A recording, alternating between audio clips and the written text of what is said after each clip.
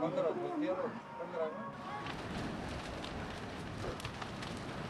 योरियो योरियो you भी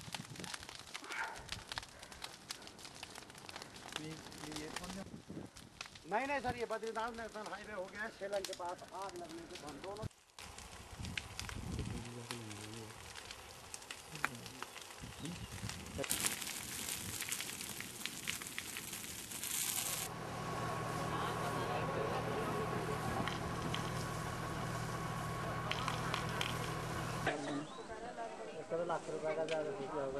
और?